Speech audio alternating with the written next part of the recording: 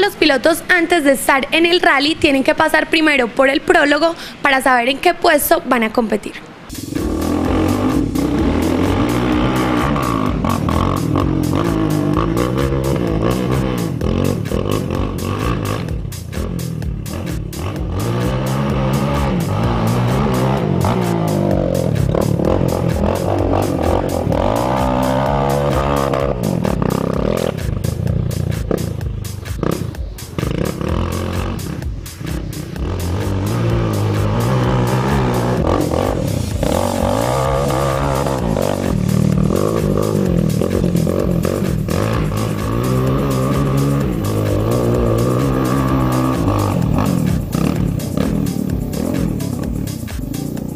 Hola amigos de M3, el prólogo de una competencia de Rally Ride es una etapa más de todo el rally. Nosotros le decimos la SS1. ¿Qué sucede en el prólogo? Se hace una pista de 4x4 eh, destapado en donde cada uno de los participantes que está compitiendo en motos, cuatrimotos, ATVs, UTVs y 4x4 en categorías T2 y T5 debe hacer un pase de la pista, se le toma el tiempo y esa va a ser su clasificación para el orden de salida durante la competencia que comienza con la SS2.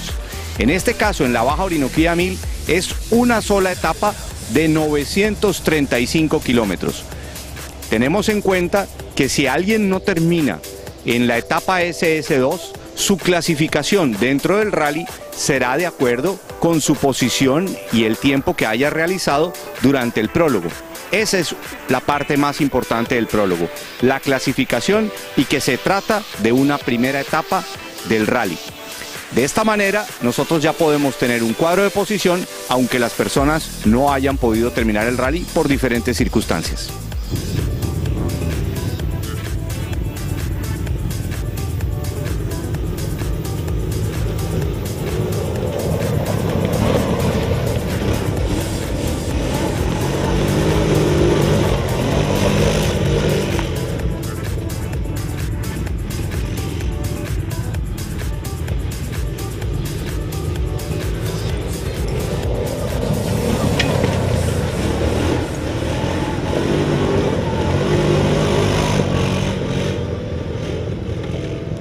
Bueno, en el día de hoy nos encontramos en el Rally Baja Orinoquía 1000 kilómetros.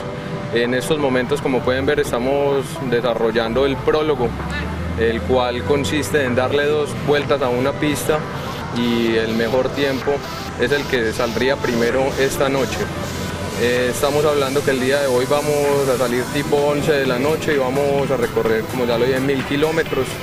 Aproximadamente son entre 25 y 27 horas continuas de estar conduciendo. Eh, mi equipo está conformado por Samuel Martínez y yo, Andrés Cuervo, que pertenecemos al equipo Mototest. Venimos desde la ciudad de Medellín y estamos dispuestos a llevarnos este campeonato. Estamos corriendo en un vehículo Kawasaki 750, eh, es un Terix y vamos a darle la guerra a equipos mucho más poderosos, pero creo que tenemos con qué ganar.